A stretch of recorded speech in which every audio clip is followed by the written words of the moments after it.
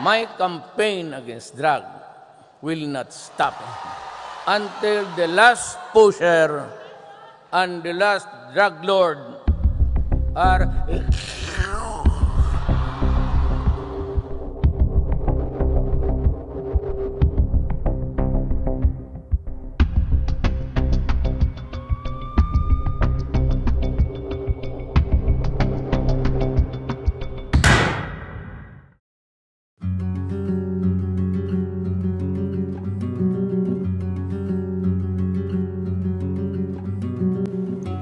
unpredictable, biased, corrupt, and slow.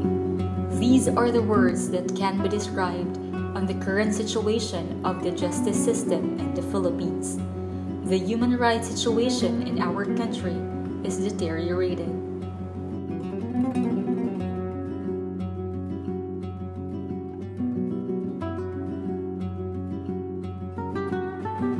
There is a saying Justice delayed is justice denied. The perception of a continuing failure of the Philippine criminal justice system to deliver fast and efficient justice has inevitably led to the erosion of public trust in the government.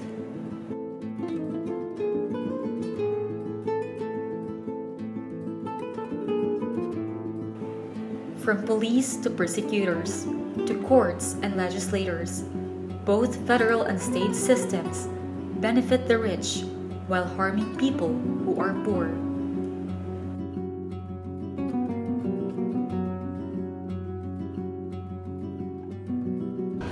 The justice system is premised on the notion that poor and rich are treated equally. But today, access to justice is based on how much a person can pay.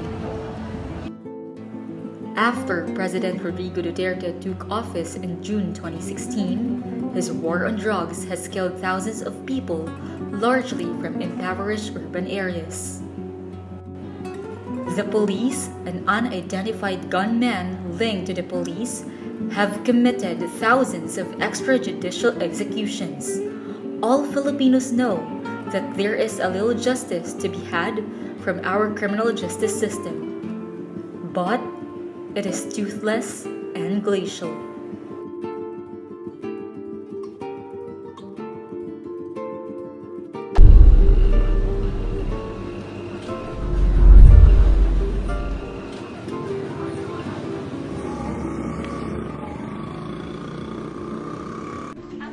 Sabi ng anak ko, nanay, hindi umuwi si Tito. Sabi ko, nauwi naman yung kahit 10 oras ng gabi, kumakatok. Kaya lang ho na, namin nalaan na may patay nga doon sa malayong lugar. Nakita namin sa dyaryo. Nabasa namin. Ang tama niya dito. Sa ganito ho. Tapos dito. Ang masakla po yung pagkakabasag ng ulo niya dito.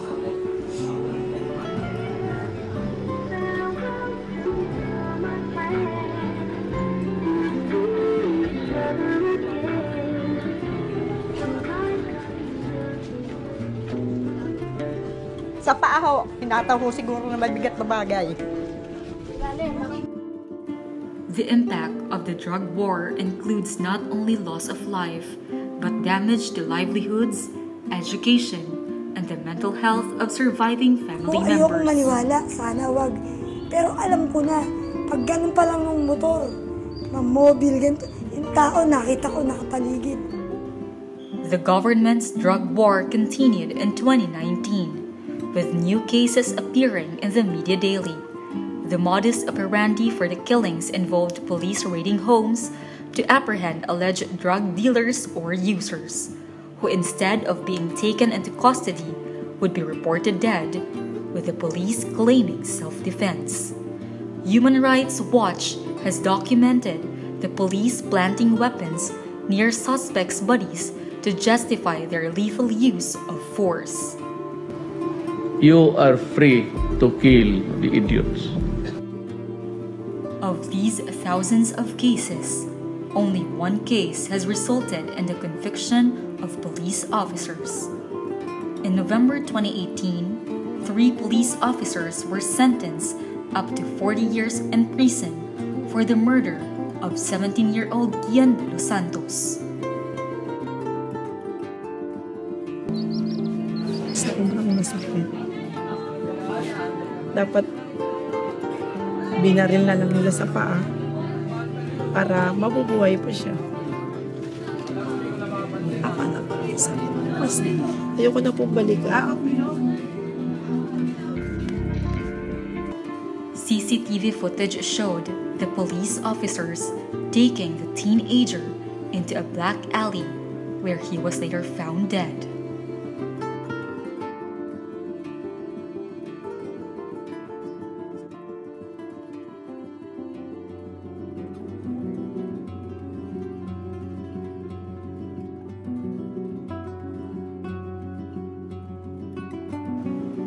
People who are poor are systematically treated worse than the wealthy. People without financial means remain in jail prior to trial because they can't afford bail, resulting in higher conviction rate.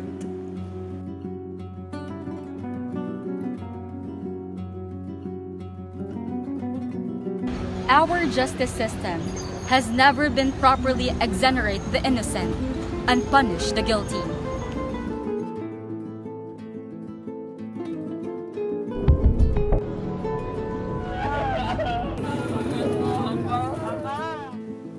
Until now, Filipinos across the country continue to ponder the question Is there still hope for our country's justice system to improve?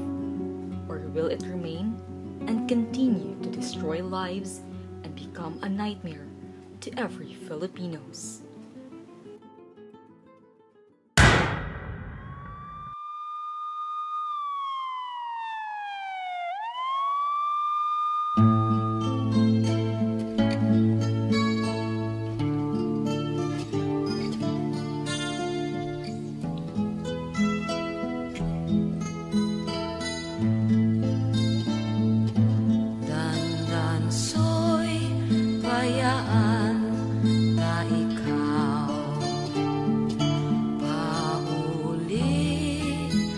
aku sapaya